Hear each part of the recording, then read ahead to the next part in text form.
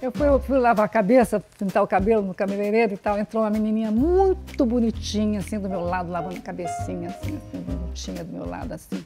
Aí a mãe dela chegou e falou assim: Filha, sabe quem é essa que está do seu lado? É a Vanderleia Vandeca, da Jovem Guarda, a menina. Ah, ah, é a Vandeca da Jovem Guarda. Aí ela não. Estava na cara que ela não estava entendendo nada que a mãe estava falando. Ela falou assim: aquela que crente pare agora. Ah, Jota, queria fotografia comigo.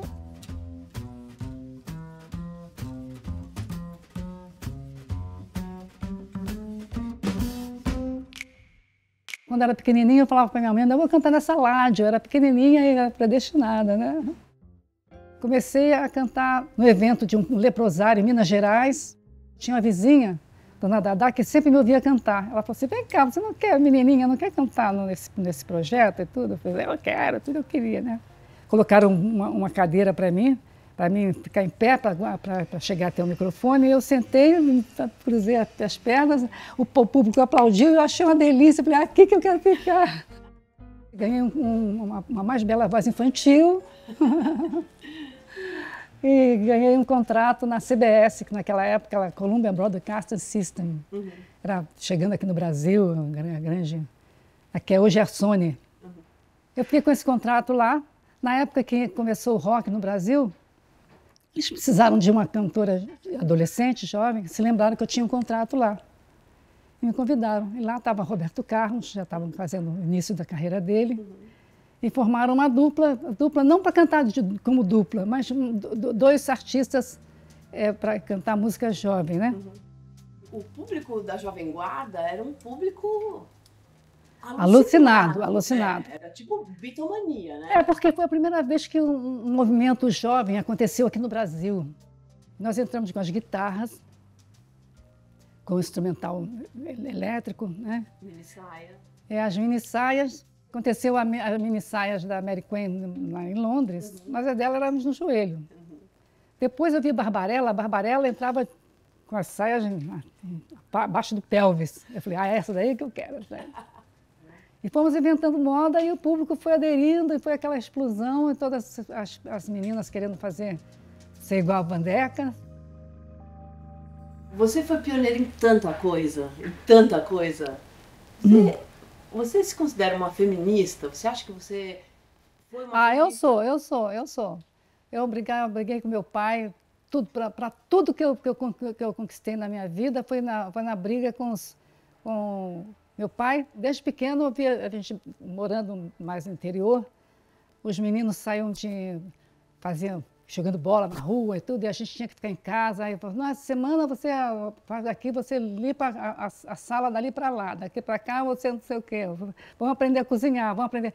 Preparando a gente para um casamento, né? para um futuro casamento. Não, assim, desse jeito, você não casa. Para dirigir carro. Eu, eu comprei meu primeiro carro, coloquei ele dentro do carro para sair comigo. E subi o alto da Boa Vista. Na volta, eu voltei cantando pneu. Ele, para, para. É, e a gente chegou aqui na sua casa por coincidência no mesmo dia que o disco, né? Novo. É, o disco está chegando hoje, gente. Esse disquinho. A capa. A capinha. Que alegria. E me conta tudo sobre esse projeto. Por que, que você decidiu cantar choro é, nesse momento? É um sonho de menina. Eu acho que o bom da vida é você estar tá fazendo sempre coisas que te desafiam, que te motivam, né? Uhum.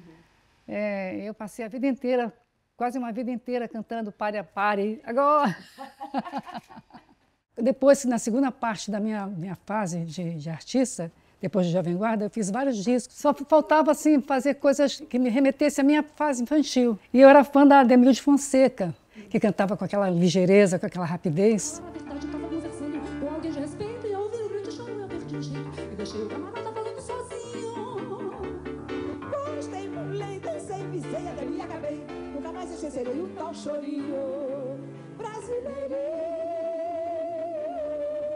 É, a introdução do, do chorinho veio junto com samba, misturado com samba, uma, uma época de, de, de, da época imperial, Uhum. começaram a, a surgir os, os, os, os, regionais, o violão de sete cordas, violão de cavaquinho, uma flautinha e tal, começou a surgir. É, é, é bastante sofisticado, porque é uma mistura do erudito com a música brasileira. Você só chora, se desprezada, depreciada na despedida. E eu só choro pela vitória, pela beleza e quando estou feliz vida. O choro tem histórias, as letras são muito interessantes, as letras. São letras bonitas, tem, tem o Pedacinho do Céu, que é lindo, que é lindo.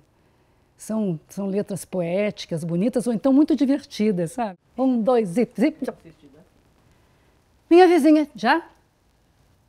Minha vizinha tinha um galo pequenino, era ladinho aquele galo guarnizé. Eu sem querer pisei no pé de uma galinha. Ele cantou que quer cair, beliscou aqui no pé, com minha vizinha há muito tempo que eu não falo. Peguei um galo e a vizinha nem deu fé. Se minha vizinha reclama qualquer coisinha por pegar minha faquinha, eu vou matar o garnizé. O Erasmo ouviu essa música e falou assim, você vai matar o garnizé? Você vai matar o bichinho?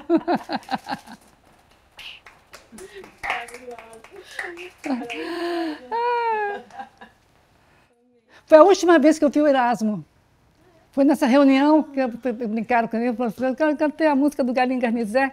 Aí ele, ele parou e falou assim, mas espera aí, você vai matar o Garnizé? Eu falei, não, não me conformei com tal situação. Eu peguei o Garnizé, cortei-lhe os porões, agarrei o bichinho, amarrei pelo pé. Ele deu um pulinho, fez que, que, que, que, que.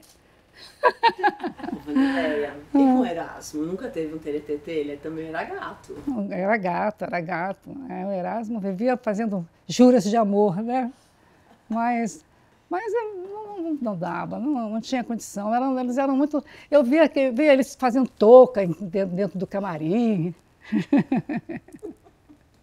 Acaba o romance. Acaba todo o clima, todo o romance, né?